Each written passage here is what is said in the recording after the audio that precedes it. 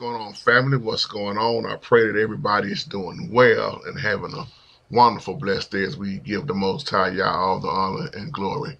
All praise and worship. It all belongs to our Heavenly Father, the Most High Yah. This title says donating blood versus eating blood.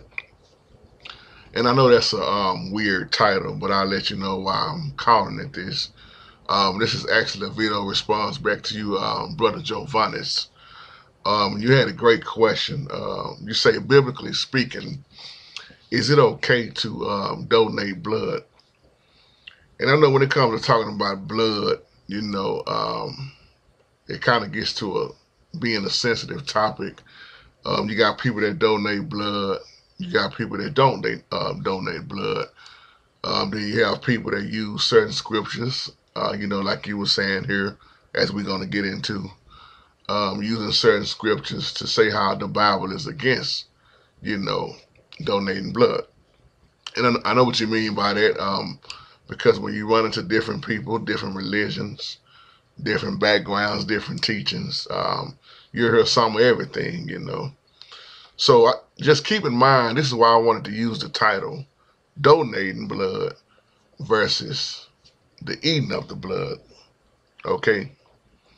Now, off top, we can say um, from going back into the Old Testament, you're not going to find anything recorded about somebody having something like a blood transfusion or even donating blood, you know, because look at how long ago that was.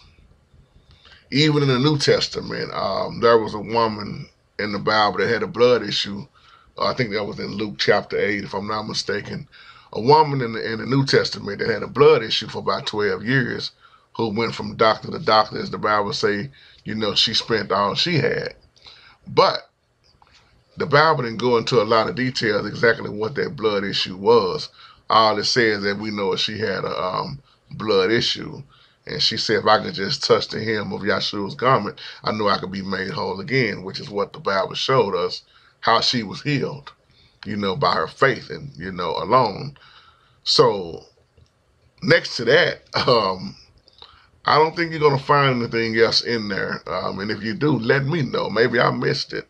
But I don't think you're going to find anything else in there, something for as like a, a blood transfusion or, you know, donating blood and all this stuff that we see now. Um, and this is a very, very, very great question. Um, I love it.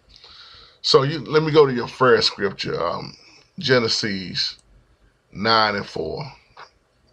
Okay. You wanted me to expound on that. Let's go back to Genesis 9 and 4. It says, King James Version, But flesh with the life thereof, which is the blood thereof, shall ye not eat. Okay, now, off top, it's kind of hard to even get understanding on what this is talking about if you don't back up to the previous verses. So I always say go back. You know, sometimes I say you got to go back. Sometimes you got to move forward because it's just leaving you kind of out there. But just to make this make this um, make this short, this is this is this is the Most High's covenant with Noah. So when you back up in verses one through three, that's why he told them to be fruitful and multiply, replenish the earth. He was telling Noah, all the animals on the earth, they're gonna fear you all the birds in the sky, everything crawling on the ground, all the stuff in the sea. It's in your control, Noah. They are they are in your power. He say everything that lives in verse 3, everything that lives and moves will be your food. Just as I gave you the green grasses, I will give I will now give you everything. But when it gets to verse 4, which is what you're bringing up, this is where he was talking about eating meat with the blood still in it. It says, however, you must not eat meat with its life, its blood in it. Once again, as we rightly divide the Bible, this is not talking about donating blood. So once again, he was telling Noah not to eat that meat like that with the blood still in it. Even when you go to Deuteronomy chapter 12, same thing for us as Israel. He showed us about, you know, not eating the meat like that, you know. But nowadays, um, we can use what, mm, let's say a steak for an example. Nowadays, look at how look at how so many people eat their steak. But then look at how many people don't eat their steak like that. You got some people avoid eating the raw to medium rare because they say, well, that still got the blood showing in it. So you got a big argument on steak, even, you know, to this day. Is that really blood or is that that red liquid that they shooting in it? So you you got a great debate on that alone, you know. It, but what do you think? is it really blood or not? I, I believe it's blood. Now that's just me personally. I believe it's blood. I never could understand how people could eat steak like that when they order it like that. But, uh, but either way it goes, once again, this is still talking about eating meat with the blood in it. Now, I've heard um, Jehovah Witnesses take those scriptures to say that it's wrong to give blood, but once again, you got to understand who and what the Jehovah Witnesses believe in and, and what they teach.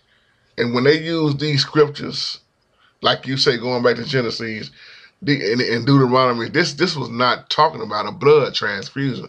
Once again, I was talking about eating that meat. So I know once again, yes, the Jehovah Witnesses they use, and it's some other religions that use those scriptures to say that it's wrong to give blood, but the Bible did not say that.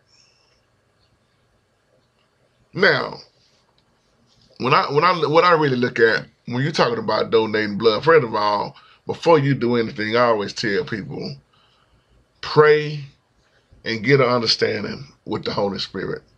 Always pray and listen to the Holy Spirit. Now, when you talk about giving blood, let, let, let me take it on a spiritual note now and physical note. Um, Yahshua, when he gave his blood, he shedded his blood on the cross or some may say on a tree. He gave his blood. Blood is very powerful. It represents so much more than we think. I mean, I, y'all y'all done videos about that, but you look at he died. He shed his blood. Isn't that in a in in so many ways we can say a form of he gave his blood? Hmm. Just giving you something else to think about. Now, there's been so many arguments and debates about you shouldn't give blood. You should give blood. I've even seen doctors and nurses and people get into it behind this um, topic on blood transfusions because depending on who the person is and what kind of blood they have in them, you know, especially if you're talking about somebody, excuse me, that have something like AIDS, HIV, you wouldn't want them to donate blood because it, you already know the end of that story, you know. But but then on the flip side, you got to look at donating blood has done a lot of good to a, for a lot of people, you know. It has been proven.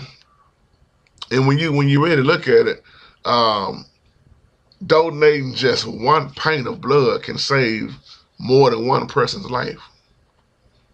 Now there are some little minor side effects you may feel, and I mean real minor, behind, you know, donating blood. Like when they stick you with the needle, you may have, you know, some bruising. You know, that may take a little while to go go away. Some people get dizzy because one thing about it, when you lose blood, you get weak. You know, some may bleed longer than others. You know, according to how their body is. But in the long run, you you you you still may hear of some bad, a few bad things that have happened behind blood transfusions going wrong, but but uh, nine times out of ten, it's, it's pretty much successful. I'm sound like a doctor, but once again, like if somebody had AIDS or something, now they shouldn't donate blood. But the thing is, when you give blood, you lose a few red cells. They taught us this back in in health class, back in high school. You do lose a few red cells, but the thing is, your body gonna make them back up to replace them. So, and then you got an ongoing argument. Um, I remember when last time I was in the hospital, I, I was asking doctors these questions about does donating blood affect your kidney? Uh, some of the doctors were saying yes, it, it affects your kidney, and some of the doctors were saying no, it don't affect your kidney. So once again, when you get around different people, you got different opinions. Everybody don't always agree on the same thing. Um, like I'm saying about the kidneys. Uh, some doctors, like I say, they'll say, yeah, after a while, man, you you you'll feel your it'll do something to your kidneys, but then some doctors say, no, that's not true. Because you got when you get a lot of different doctors, you're gonna definitely get a lot of different opinions. But then you may have some that that truly agree on, you know, it's okay to do it or not. So the thing is, like I always tell people, what you want to do is you want to consult the ultimate doctor. there are a lot of people who want to give blood and they are scared to give it. Um, or they, they may say, I don't think my blood is good or you know, whatever the, situation may be. So I think this is a wonderful question. But to, to answer your question once again, the Bible never ne never was against um, something that it didn't teach, which is you didn't see blood transfusions in there once again. You didn't see donating blood, you know, like that. So I always say, especially, uh, we had me and Brother Bo and Sister Pam said this yesterday because we was we was um, talking about cremation, you know, and, and, and being buried, the difference. And, and, and it's made me think about this in this video um, about blood. If you can, I always say, if you pray and get that answer, and you can be able to give blood to help save somebody's life, and nothing bad happens behind it, you know, health-wise, and you got it okay by the Most time, what's wrong with it? You know? So that's just, you know, rightly divine the word that the Jehovah Witnesses and them, when they was talking about that, it, man, that, that, was talking about the Most High's um, covenant to Noah and his family. Do not eat their meat with their blood in it like that, you know, and, and that's what that was all about. You cannot throw that in there and talk about that was talking about a blood transfusion. You know, when you think about it, eating meat with blood in it versus giving blood, that's two totally different things. So that's my time on that. Let me know what you think about that answer. And um, have a wonderful, wonderful, blessed day. Shalom.